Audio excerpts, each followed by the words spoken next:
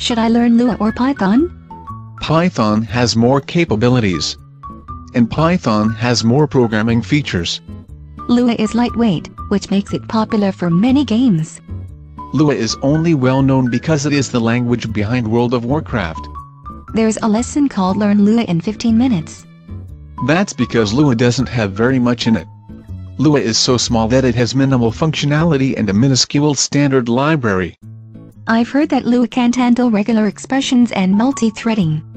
If you want to learn a second language on top of one you know, learn JavaScript instead of Lua.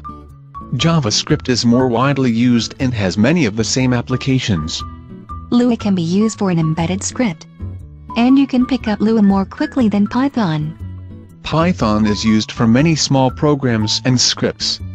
Lua is more popular for embedding an interpreter within a larger program in a different language. But that language is more likely to be C++ than Python. You don't like Lua. Lua rarely works as a standalone language, but Python can be. It could be a good introduction to programming.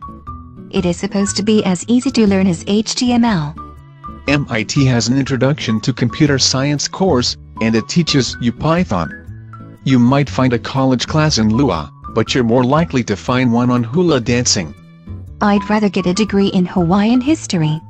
It'll be as useful as putting expertise in Lua on your resume.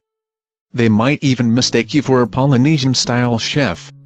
You think I should learn Python? You can do more with it, both literally on the server and professionally.